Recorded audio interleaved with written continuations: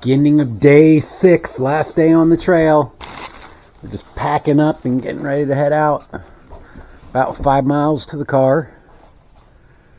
Then we're going to hit a eastern central Pennsylvania staple sh- Sheetz for a breakfast sandwich. And the drive home's about three and a half hours. Thursday, April something. 20th. 20th, Thursday, April 20th, we'll be finishing up. There was two guys who were uh, down at the, you can't even see the shelter, way downhill from here. They were so loud, we could hear them all the way up here. We went down there and chatted with them. They had like a fifth of Jack Daniels and a bunch of other stuff, and they were hiking southbound, and I'm not sure, they weren't hiking the whole way, but they're going out for a few nights.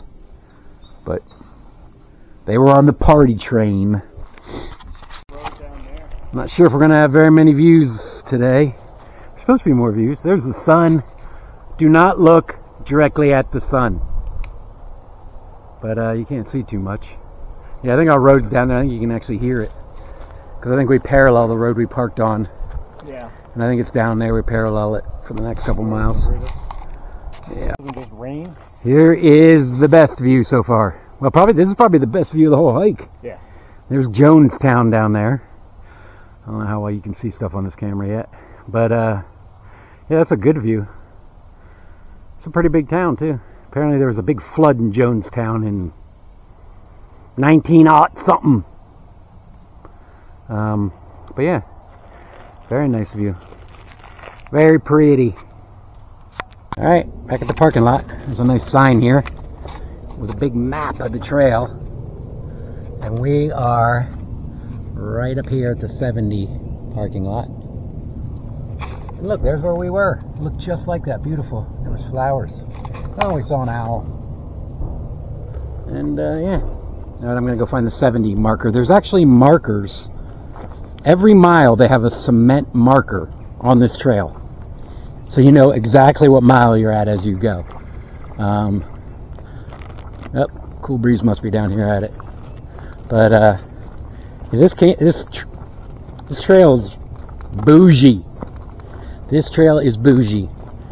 Pit toilets, firewood, shelters, mile markers, relatively flat. And here is the 70 marker. We made it 70 miles, only took us six days.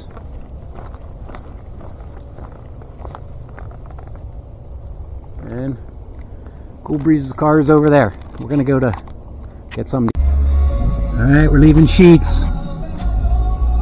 Just had breakfast burrito. It was yummy. In Jonestown, Pennsylvania, the site of the famous 18 Johnstown. Johnstown, damn it. 1880 whatever historic flood that killed over 200,000 people. 200,000. 2,000 people. 2,200 something. Not good with numbers. No.